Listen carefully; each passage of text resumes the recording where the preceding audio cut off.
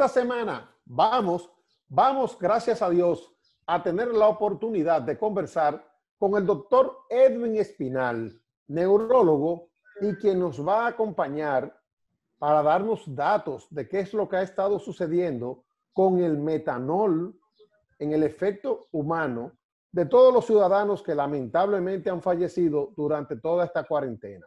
Como ustedes saben, en estos días van, según reportes de la de salud pública, cerca de 200 ciudadanos dominicanos que han fallecido producto del consumo de cleren.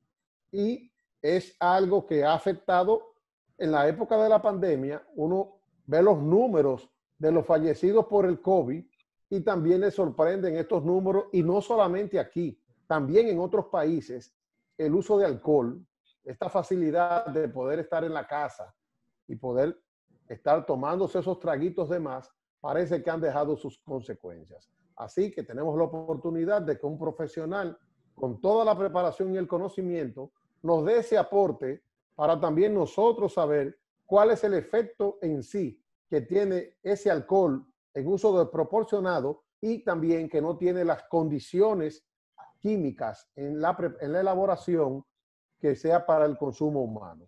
Así que nosotros vamos a una pausa y retornamos con la presencia y con la entrevista al doctor Edwin Espinal. Doctor Edwin Espinal nació un 22 de octubre en Dajabón, hijo de la profesora Marcelina Fortuna y el licenciado Orlando Espinal. Es el mayor de cuatro hermanos. Está casado con la doctora Marx Núñez, cardióloga, y es padre de cuatro hijos. Realizó sus estudios primarios en el Colegio Simón Bolívar y secundarios en el Liceo Manuel Arturo Machado, ambos en Dajabón. Es egresado de la Escuela de Medicina de la Universidad Autónoma de Santo Domingo UAS desde el 2001. Además, realizó la especialidad de Medicina Interna en el Hospital Docente SETMA Santiago y la especialidad de neurología en el Hospital Salvador Gautier y el Instituto de Neurología Manuel Velázquez Suárez de la Ciudad de México. Labora en el Centro Policlínico Nacional y el Centro Cardio Oftalmológico y Transplante Secanot.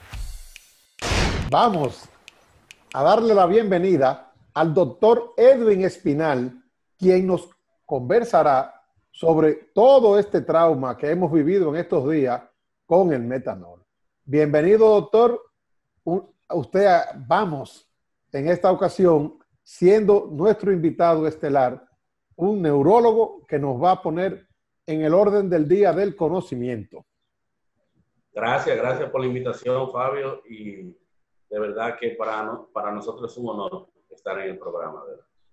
Bueno, usted que ha sido un hombre una herramienta siempre de soporte para nosotros en este espacio, hoy tiene la, la oportunidad de comunicarnos y de decirnos qué es lo que está pasando, doctor.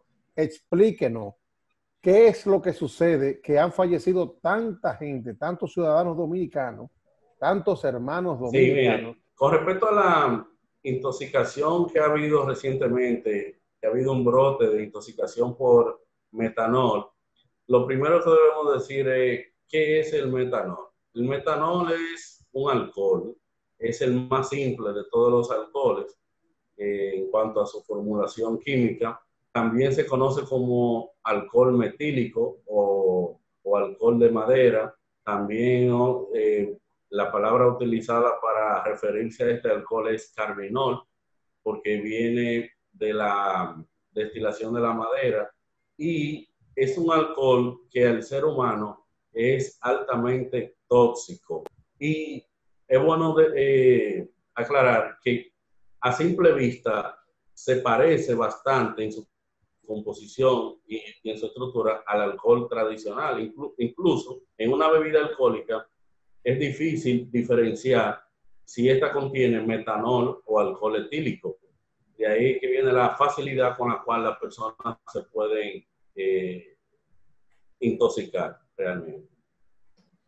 Bueno, pero eso es algo que se ha ido propagando y lamentablemente uno sabe que muchas veces el tema del negocio, de lo que la gente quiere lucrarse, pues se le importa llevarse una vida por delante.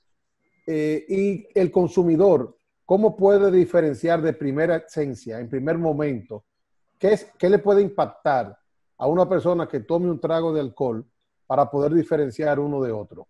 No, eh, la persona que lo ingiere no se puede eh, percatar a simple vista de si esa bebida contiene alcohol etílico o metílico, porque en cuanto a su composición, así a simple vista, es igual incoloro, no se puede diferenciar, esto tiene metanol, esto tiene eh, etanol, es difícil, por no decir imposible la diferenciación. Por eso la alta facilidad con la cual las personas se pueden intoxicar.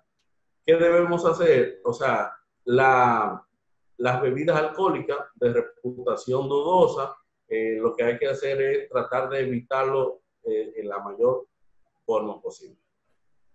O sea que es un alto riesgo en todo el sentido de la palabra el que se tiene. Totalmente, totalmente, totalmente. La, es difícil la diferenciación realmente. Simplemente ya después que la persona lo ingiere, es que comienza entonces la sintomatología, eh, que hay un periodo de ventana, eso varía entre los individuos, pueden, pueden pasar 10, 15, 20 minutos hasta que aparece la primera fase de la intoxicación, que puede aparecer visión borrosa, sensación de mareo o sensación vertiginosa, náusea, puede aparecer vómitos también. Y Luego aparece un periodo de latencia o de, eh, del paciente va a estar o la persona asintomático y luego que pasa ese periodo de latencia, que es de aproximadamente 20, 30 minutos, en algunas personas hasta de algunas horas, aparece entonces la segunda fase de la intoxicación, donde ahí vamos a tener ya los datos clínicos de lo que es una intoxicación o acidosis metabólica, que es lo que va a caracterizar esta segunda fase. Y esto clínicamente se va a manifestar ya por alteración de la conciencia, vamos a tener sudoración profusa, el paciente va a tener, va a agudizar lo que es la visión borrosa que presentó inicialmente, la náusea y los vómitos van a ser más copiosos también, y ya es cuando entonces aquí la, la persona o, la persona que están llegado a, a, él o al paciente, es cuando deciden entonces llevarlo a un centro o asistencia de salud. ¿Y qué se recomienda en primera etapa, eh, inclusive antes de ser trasladado, para eh, poderlo ayudar en lo que en el trayecto no vaya a sucederle eh, la muerte o ya un efecto fatal? Bueno, mire, esa primera etapa es difícil de, para las personas que están en el entorno de la persona intoxicada con metanol, identificarla como tal. Porque, vuelvo y repito, las personas que, eh, me refiero a los que toman metanol de forma accidental, eh, por ejemplo, creyendo que están tomando una bebida alcohólica, me refiero a alcohólica en base a etanol. Sin embargo, el alcohol que tiene no es etanol, sino metanol. Ya cuando aparecen los síntomas, ya esa persona ya eh, aparece la primera fase de, la intoxicación, como le dije. Pero en esa primera fase, muchas veces es atribuible a los efectos propios del alcohol. Y ahí entonces es cuando eh, la persona que ya está intoxicada minimiza los efectos o no le da la importancia de vida. Entonces luego aparecen las complicaciones ya más aguda, más severa, que son la fase 2 y fase 3 de la enfermedad. Bueno, eh, sí, porque regularmente cualquiera lo que puede pensar es que ya se emborrachó y que hasta lo sientan a un lado y lo, y, lo, y lo pueden hasta, inclusive llegar hasta acostar y lamentablemente no saben que es un efecto que va a tener una consecuencia fatal. Sí, se le atribuyen esos efectos a la intoxicación por alcohol, por decir decirlo, porque la persona piensa que está tomando etanol, que se, e, en la primera fase se puede confundir. Sin embargo, ya los efectos propios del metanol o alcohol metílico, que es el alcohol adulterado, como le llamamos, ya aquí vamos a tener en una segunda o tercera fase, eh, hay algo que es muy característico en esta persona y es que pierden la visión. Uno de los primeros síntomas es la ceguera. O sea, la persona lo que dice no veo no veo, veo borroso o no veo nada.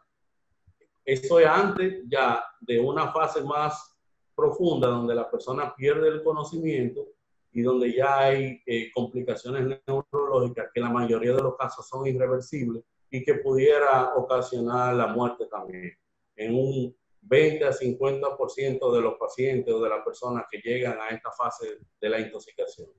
Bueno, y la recomendación muchas veces de que el que consume alcohol eh, coma algo, ¿tiene algún beneficio en el momento? Bueno, aquí la ingesta de alimentos no va a modificar eh, el curso de la intoxicación.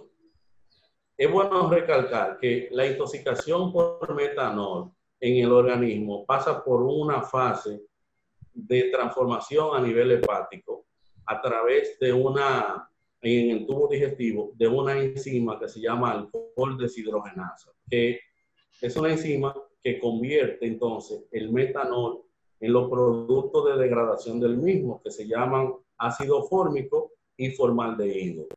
Estas dos moléculas son las que realmente provocan los daños que vemos de forma drástica, eh, sobre todo a nivel neurológico, en la persona. El ácido fórmico y el formaldehído son las, la, el producto de degradación del metanol que realmente hace daño. Ya cuando se produce esa acumulación de estos componentes, entonces que vamos a tener toda esa sintomatología diversa y variada. Pero los alimentos en esta fase no modifican la transformación de, de, metanol a ácido fórmico o a formaldehído, respectivamente.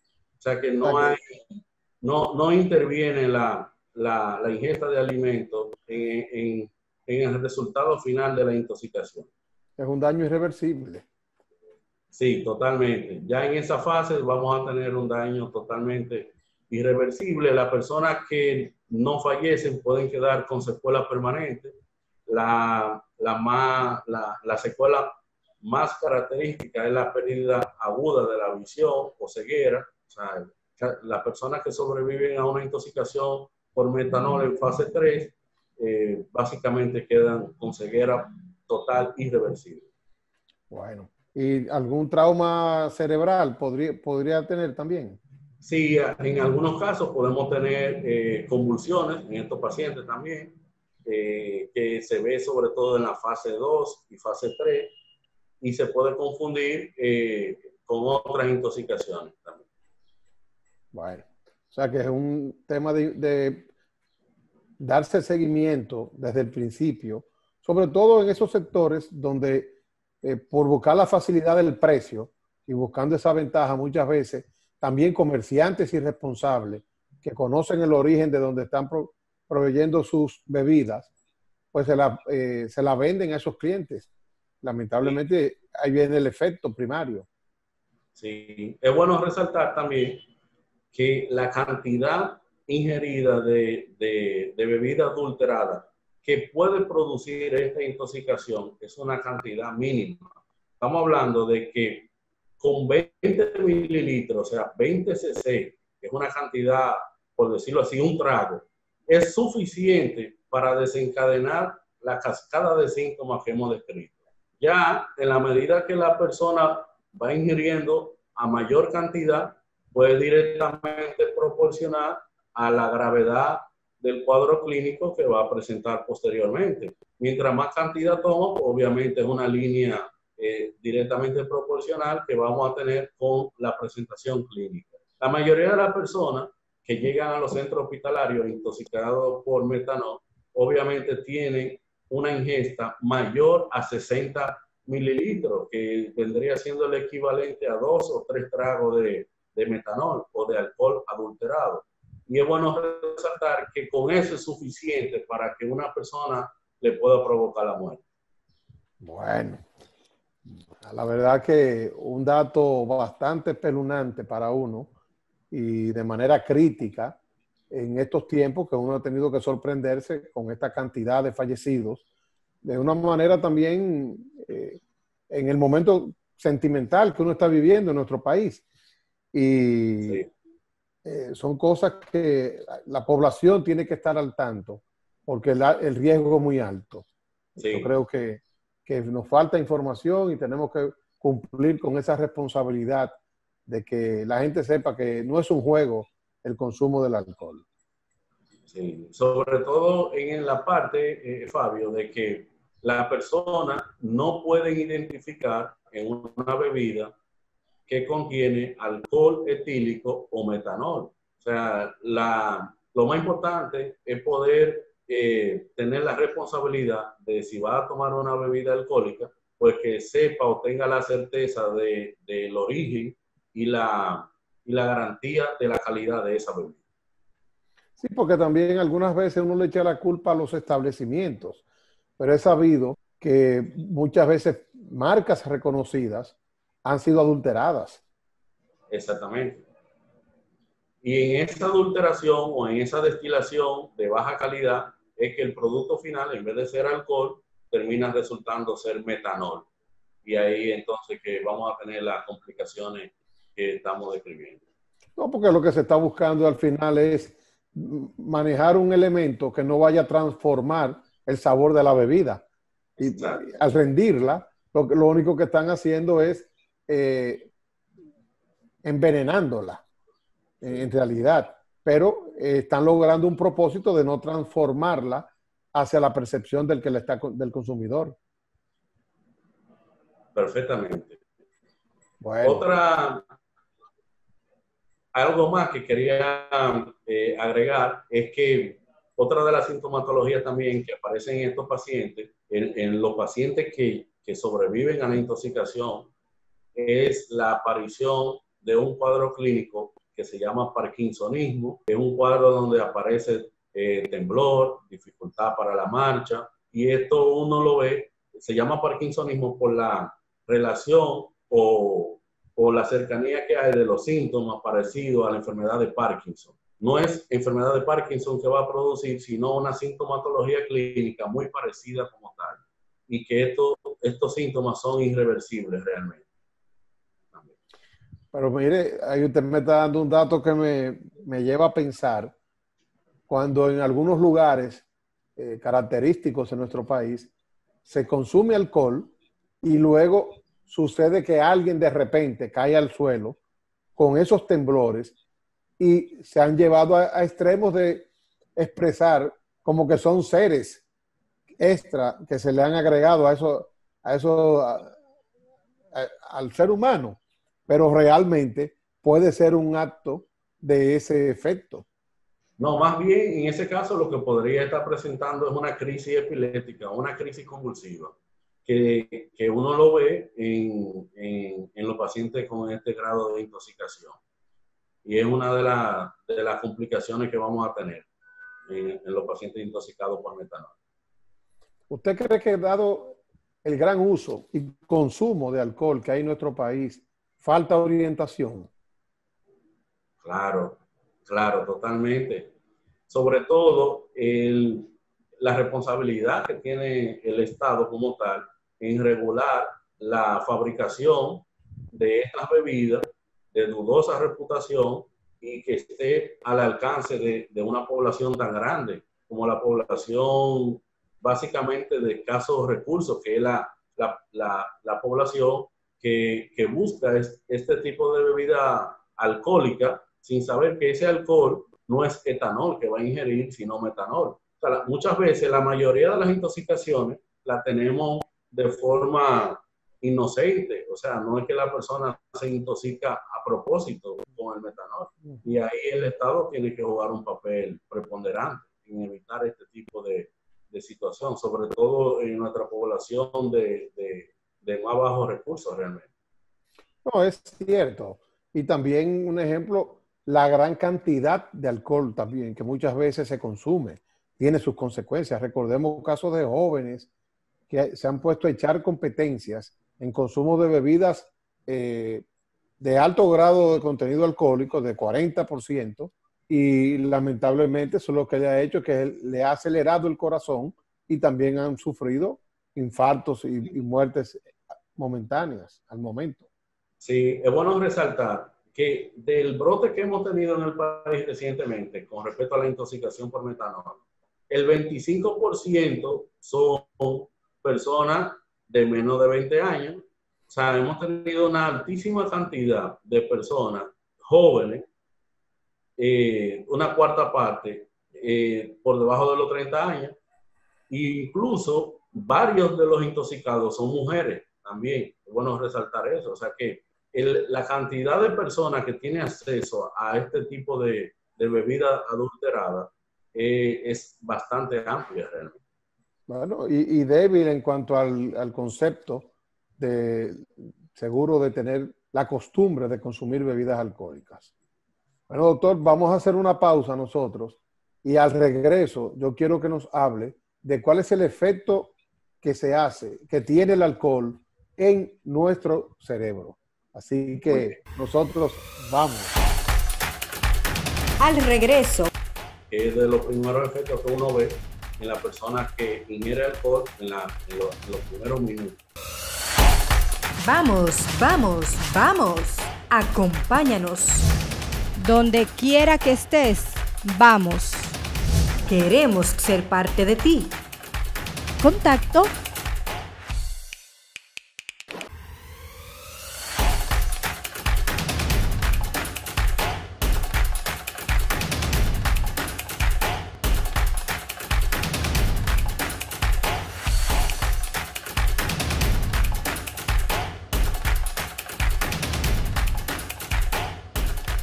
Continuamos con el doctor Edwin Espinal y yo soy de los que ahora le pregunto, doctor, ¿cuál es el efecto en el cerebro que se tiene al consumir alcohol de manera normal? Para hablar del alcohol comercial, que son las bebidas que nosotros consumimos. Sí, bueno, el etanol o el alcohol comercial, como comúnmente lo conocemos, que está presente en tantas bebidas alcohólicas eh, comunes, como el vino, el whisky, el tequila, vodka, ron. Este tipo de alcohol o etanol tiene diversos efectos una vez entra en el organismo. Comenzando por el bloqueo que hace a nivel de, de una hormona que se llama ADH o antidiurética, la hormona vasopresina, como se llama, que hace que la impide que el riñón produzca una orina concentrada. Se llama hormona antidiurética. Entonces, la inhibición de esta hormona va a provocar una orina eh, bastante abundante. O sea, vamos a tener eh, una orina clara y, en gran cantidad, que es de los primeros efectos que uno ve en la persona que ingiere alcohol en, en los primeros minutos. O sea, que cuando uno dice uno pensaba que era nada más la cerveza la que tenía ese efecto de manera inmediata en uno. También... No, eso lo, eso lo provoca el etanol. Todas las bebidas alcohólicas tienen la capacidad de producir eso. Realmente. Y es por el bloqueo de la hormona antidiurética o vasopresina. Y en el caso nuestro, que en este mercado tenemos tanta variedad de bebidas, como es el caso de la cerveza, la tequila, el vodka, el whisky, el ron, el vino, ¿qué realmente usted nos puede recomendar como consumo en mayor escala? Ya que usted sabe que realmente aquí en Dominicana el alcohol es muy presente en la mayoría de las actividades, tanto sociales como festivas. Bueno, lo, importante es tener un consumo responsable. todo depende de la cantidad. O sea, no hay ninguna bebida mejor que otra en cuanto a alcohólica se refiere, sino todo debe primar un consumo responsable. Eh, el grado de alcohol entre una bebida y otra es diferente. Por ejemplo, en el caso del vino, tenemos que tiene un grado alcohólico que no sobrepasa eh, sobre todo el 16% del volumen de la, de la, bebida y esto se debe en base a la levadura eh, que el alcohol que se produce es por el, el azúcar que tiene la uva, la levadura lo convierte en, alcohol. Y esta levadura, en, la, en presencia de alcohol, ya cuando el alcohol pasa a un 15-16%, pues se van eliminando o se mueren. Entonces hay una autolimitación en, la, en, en el contenido de alcohol de esta bebida. Ya las otras bebidas, por ejemplo, como el whisky, vodka, el tequila, o el grado de alcohol se obtiene en base a la destilación de la fermentación de esa bebida, o sea, una destilación posterior de esa bebida ya fermentada y el productor puede jugar con eso y, y, hacer que la bebida tenga el grado de alcohol que, prefiera realmente. En el caso del whisky, en el caso de, del tequila, pues ronda el 40%. Ya que no hay bebida saludable, ¿verdad? Pudiésemos preguntar cuál es la menos dañina de, en cuanto al whisky y el vodka, el, la misma, eh, el mismo eh, tequila, y, si bien es cierto, eh, la ginebra. Por el, bueno, por el grado de alcohol sería la cerveza, que es de la que menos contenido de alcohol tiene. Que una cerveza ronda entre 6, 9, 10 es raro que pase de, 10% en cuanto al contenido de alcohol, si tomamos en cuenta eh, este parámetro realmente. Pero en la, elaboración de los, del whisky, el vodka y la, la, vuelvo y, digo, por la tequila siempre me confundo con la sangría. Pero entre una y otra, ¿su proceso de destilación tiene algún beneficio en, en la misma? En la calidad de la misma? No, al final igual es, el, es lo que vamos a obtener es etanol. O sea, el grado alcohólico, eh, el alcohol como tal no, no varía. Lo que sí vamos a tener una, una composición diferente entre, cada una de ellas, pero al final es etanol igual. Y el efecto sobre el organismo, pues, va a ser eh, prácticamente igual. Todo va a depender de la cantidad ingerida, obviamente. Por eso eh, hacemos hincapié en el consumo responsable de la misma. En el efecto hacia el cerebro, ¿qué células te van afectando con el consumo de alcohol? Bueno, muy bien. El, el consumo de alcohol a nivel cerebral pasa por un periodo de, de varias fases. Primero tenemos una fase de euforia, que es una fase eh, que ocurre en los primeros minutos luego de iniciado la ingesta de, de, de alcohol. Esta fase, la persona va, vamos a tener una desinhibición, eh, como decimos, se pone contento, eh, alegre, eh, va a tener una conducta que suele ser un poquito impulsiva. Esta, esto es lo que predomina en esa primera fase o, o fase eufórica. Luego pasamos entonces a una segunda fase, que ya es una fase que va directamente de la mano con el grado ingerido y es la fase de intoxicación. En esta vamos a tener a nivel cerebral eh, los efectos característicos es una marcha, la marcha del ebrio o una marcha atáxica, es donde la persona tiene una marcha de base ancha, o sea, de, sustentación para evitar caerse. Es como decimos, camina como un borracho. Es porque eh, amplía la, eh, la, base de sustentación. Eso se llama ataxia o, o marcha del ebrio. Eh, también vamos a tener sudoración profusa. Eh, eh, luego de, esta fase de la intoxicación pasamos entonces a una fase ya más compleja, que es la fase hipnótica o, la fase de confusión. Ya aquí la persona básicamente necesita hospitalización. Aquí vamos a tener irritabilidad, somnolencia, puede tener el habla estropajosa o disartria. Eh, eh, puede haber dismetría o incoordinación motora, característica que pueda afectar incluso los reflejos de la persona. Y por último, eh, pasamos ya a una fase de estupor, que es donde la persona ya aquí va a ver, vamos a tener una pérdida del conocimiento o de la conciencia de forma significativa. Y aquí entonces está en esta fase puede haber un compromiso cardiorrespiratorio. Y, en y aquí entonces donde podemos ver cuando una persona eh, por una intoxicación aguda por alcohol o etanol puede provocarle la muerte. Y esto se debe básicamente a esta fase, cuando entra en esta fase donde hay un compromiso a nivel de, de la parte cardiorrespiratoria, a nivel del tallo cerebral. Eso es en el efecto de un, de un momento, de una ingesta en abundancia. Una, ingesta copiosa. Sí, en abundancia. En abundancia puede conllevar a una persona a que pase de esta primera fase que hablamos al inicio, de euforia y de alegría y de emotividad, a una fase de estupor en apenas horas. Todo va a depender de, de la cantidad de alcohol que hay ingerido realmente. Y de la resistencia en sí también. Sí, ya eso, eh, obviamente, o sea, todo el metabolismo del alcohol es diferente entre los individuos. Uno tiene más tolerabilidad que otro, pero eh, igual la cantidad sigue siendo peligrosa, aún para una persona que esté acostumbrada a una ingesta eh, a largo plazo del mismo.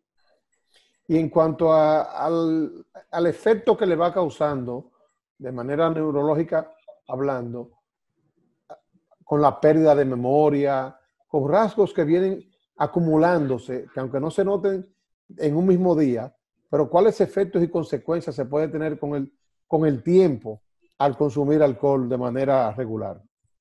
Sí, muy importante pregunta.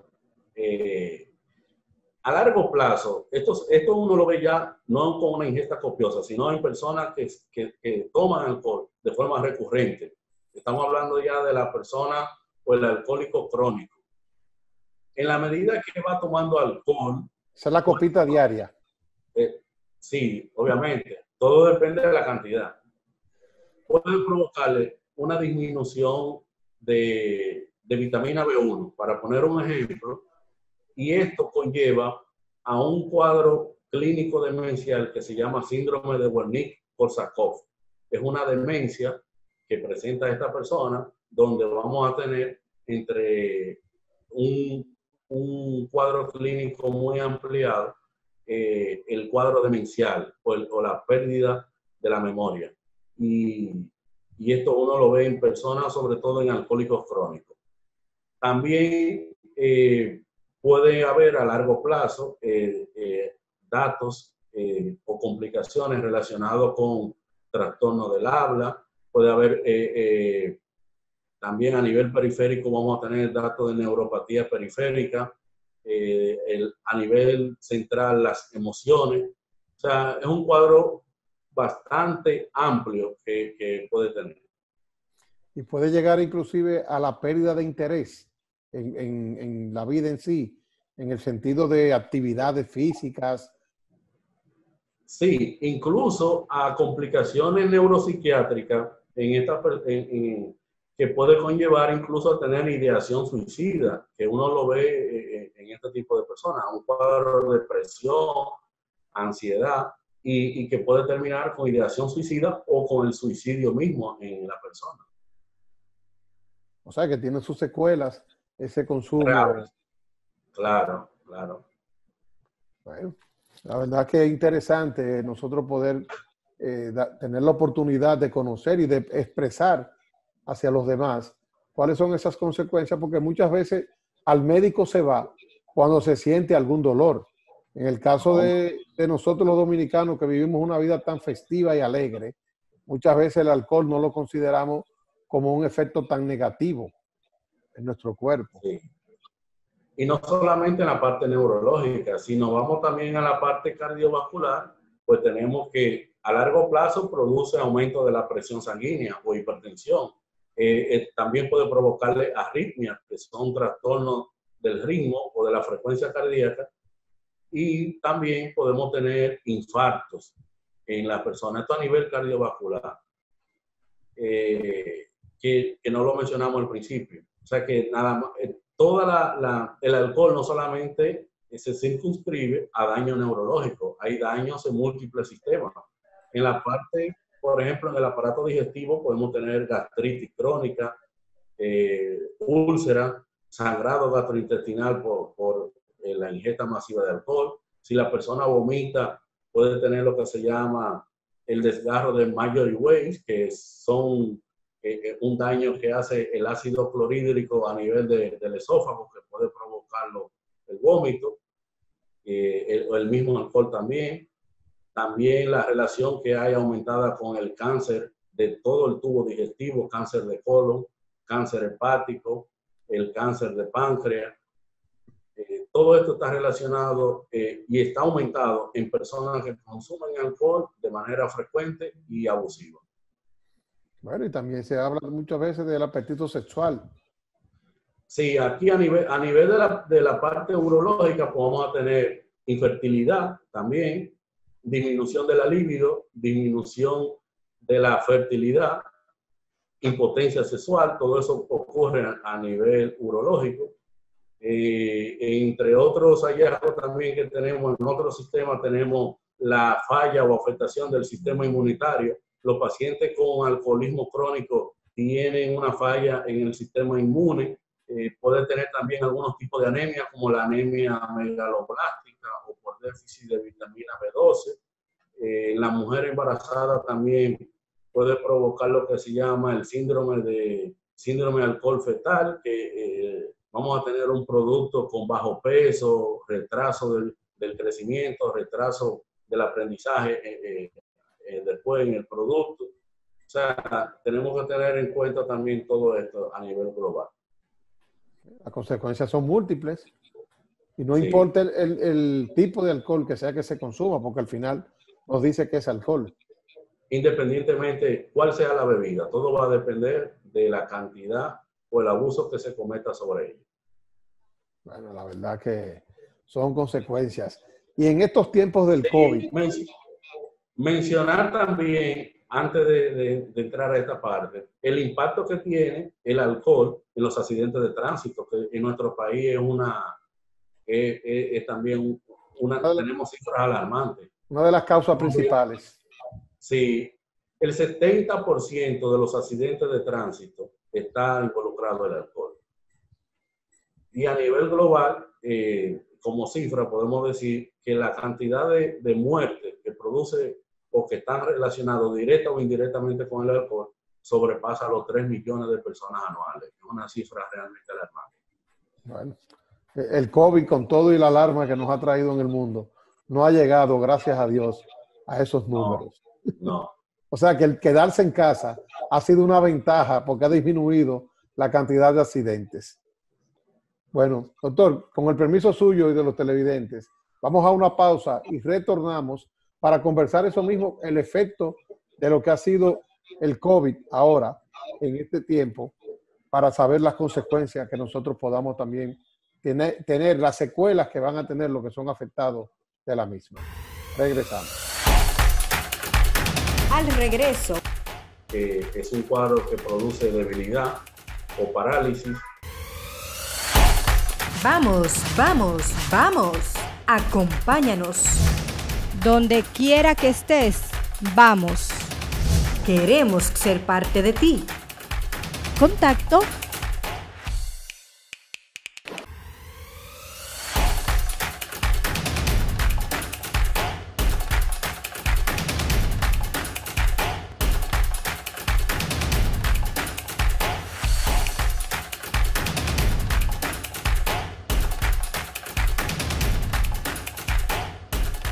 Vamos, vamos a continuar conversando con el doctor Edwin Espinal, con quien vamos a aprender ahora cuáles son las consecuencias, las secuelas que le pueden quedar a aquellos que han sido infectados por el COVID, que son bastantes ya en estos tiempos. Doctor.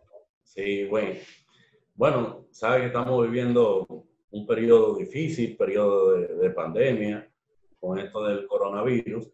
Y en la parte que concierne a neurología, es bueno resaltar que uno de los síntomas principales e iniciales que tiene la persona que ha sido contagiada por el coronavirus es la alteración en la percepción olfativa, que se llama anosmia o hiposmia. Hiposmia es la disminución de la, del sentido del olfato. La persona comienza eh, o nota que huele poco o que huele menos. Y la anosmia es cuando se pierde totalmente la capacidad de percibir cual, cualquier tipo de olor. Y es una de las sintomatologías inicial que presentan estos pacientes cuando una vez son contagiados por el coronavirus. Bueno, pero y a, y a nivel, ¿qué otra secuela ya a nivel neurológico pudiésemos tener que se tiene? Sí, eh, el virus, eh, se ha descrito, por ejemplo, ya cuando entra a nivel de, de las fosas nasales, pues hay una teoría que habla de que asciende a través de los ramilletes del mismo nervio olfatorio, que por eso es que se cree que produce esta, este cuadro por el daño directo que producen esas neuronas que están en el techo de las fosas nasales. Eh, eh, dentro, él asciende por lo que se llama eh, la lámina cribosa del etmoide, que es por donde ascienden estos ramilletes, y de ahí se dirige hacia el centro del cerebro, que es una zona denominada el hipocampo, que aquí entonces vamos a tener ya el, inicio de, todo lo que es la cascada de, de síntomas relacionados a nivel neurológico relacionado con el coronavirus. Es variado, es amplísima, eh, es una enfermedad nueva, estamos conociendo todos los días complicaciones relacionadas con la misma. Eh, adicional a, la, a las, al trastorno olfativo, pues tenemos complicaciones ya severas, como por ejemplo tenemos eh, enfermedades cerebrovasculares relacionadas al coronavirus, sobre todo en personas jóvenes.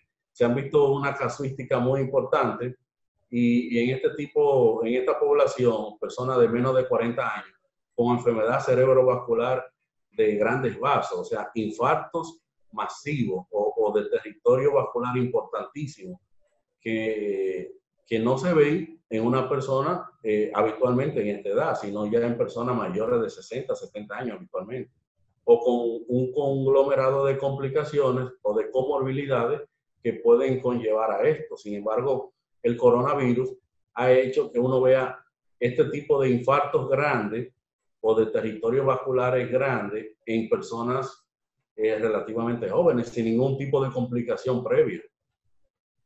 Bueno, pero se habla también de demencia.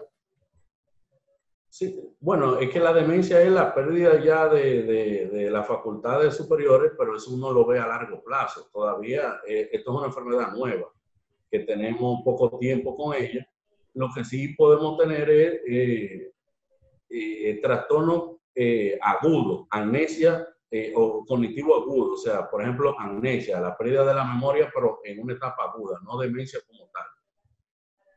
Ok. Bueno, la verdad que... Las complicaciones también a nivel neurológico, estamos hablando, son las crisis convulsivas. hemos visto también pacientes que sin ser epiléptico, una vez tienen la enfermedad, sobre todo cuando hay daño neurológico, pues tienen crisis epiléptica o crisis convulsiva. Eh, también otra de las complicaciones eh, vistas en casuística eh, en diversos países es la, el síndrome de Guillain-Barré, que es un cuadro que produce debilidad o parálisis, tanto en miembros inferiores como superiores, y eso también lo hemos visto en pacientes eh, como complicación en pacientes de coronavirus. Bueno, ¿qué usted recomienda en el caso de aquellos que no sabemos si hemos sido afectados? Porque, eh, como se dice, no todos nos vamos a caer en una condición crítica. ¿Qué usted recomienda en cuanto a algún tipo o de alimentación o algún tipo de ejercicio que nos pueda ayudar a, nos, a superar cualquier efecto mínimo que pueda uno haber tenido sin darse cuenta? Bueno, afortunadamente hay un gran porcentaje de pacientes que, que desarrollan una sintomatología leve. El porcentaje de pacientes que se complica eh, sigue siendo bajo todavía y, el que, eh, y la mortalidad pues eh, no pasa el 5% en la mayoría de los países. Pero yo creo que lo, lo en cuanto a, la alimentación es lo básico, o sea, lo mismo que uno recomienda eh, siempre, eh, mantener una dieta saludable, balanceada en cuanto a carbohidratos, proteínas, vitaminas, hacer ejercicio de forma regular para mantener un sistema inmunológico eh, fuerte, vigoroso. Eh, básicamente eso, o sea, eh, recuerda que es una enfermedad, un virus que, que tiene apenas seis meses con nosotros o, o, o a nivel mundial y, y, todos los días estamos aprendiendo algo sobre él. Bueno, ¿y qué usted recomienda para la fortaleza neurológica del individuo, ¿cuáles son los tipos de productos o de vitaminas que se deben consumir? Bueno, eh, las vitaminas del complejo B, básicamente, el zinc, eh, vitamina C, que según dicen eh, los infectólogos también, que ayuda un poco en el proceso de mejorar la defensa. O sea, básicamente eso y una dieta balanceada y ejercicio moderado bueno, eso es lo que regularmente no se recomiendan. Aunque los ejercicios muchas veces uno los deja para el momento que se puede. un poco limitado por, el asunto de, la restricción con respecto al horario y, el acceso a los gimnasios, pero se busca la forma. Se puede hacer en casa. el que pueda hacerlo en casa. Sí. Porque hasta la casa, hasta el hábito de la casa ya ha ido poniendo otras actividades que muchas veces se convierten en rutinas. Mire, doctor, en sentido general, ¿cómo usted ve la población dominicana y cuáles recomendaciones nos puede dar?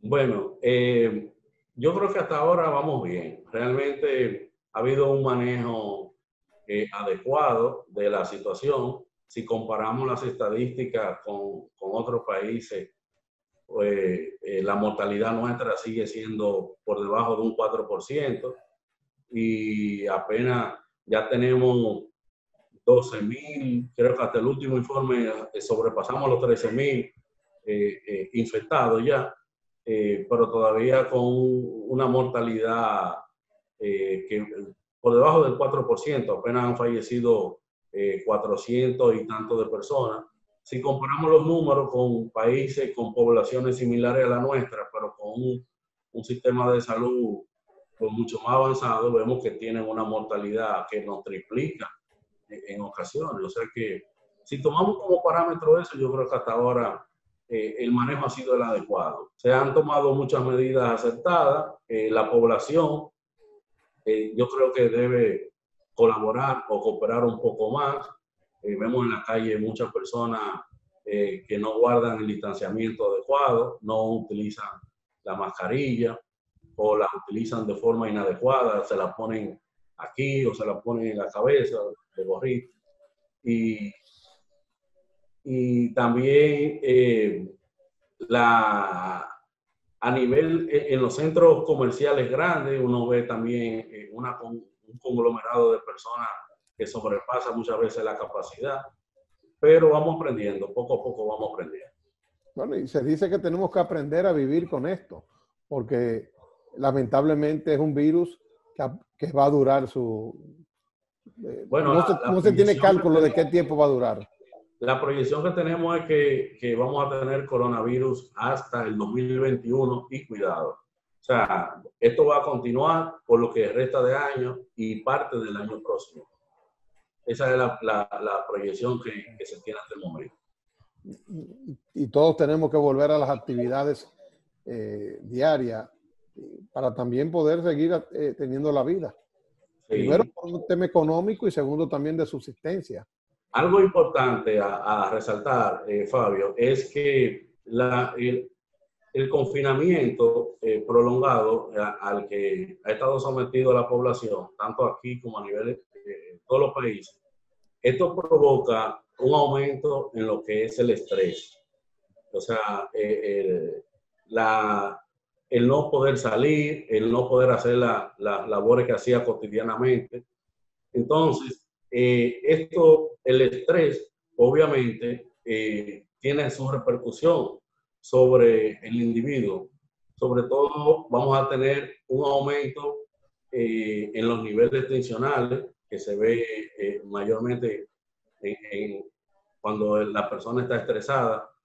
También pues vamos a tener un trastorno de ansiedad en el individuo que se manifiesta de diversas formas, como por ejemplo puede tener taquicardia, puede tener eh, temblor, puede tener eh, dificultad para conciliar el sueño, puede tener también, puede haber impulsividad o, cometer algún tipo de violencia dentro del hogar.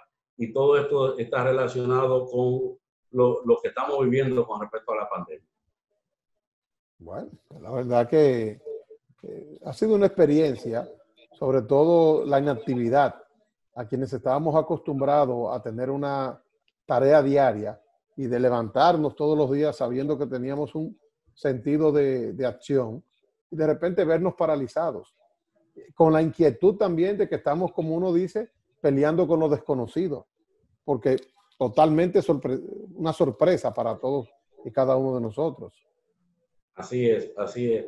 La inactividad física también, que eh, repercute bastante. Obviamente, vamos a tener, eh, eh, vemos personas que hemos aumentado un poquito de peso. Y me imagino que, también hasta la presión arterial tiene que haberle afectado mucho. Aumenta, aumenta. El, el, el, nivel de estrés y ansiedad pues, aumenta, obviamente, los niveles tensionales. Eh, algo a resaltar también, Fabio, eh, que esta situación, como es una situación nueva, eh, esto genera, es una situación inédita y el cerebro, cuando ocurren situaciones como esta, pues libera dopamina, que es un neurotransmisor que está relacionado con, con la sensación de bienestar. Al principio, al inicio de la pandemia, uno se sentía cómodo en la casa, algo nuevo, más tiempo con la familia, eh, para compartir, más tiempo de ocio.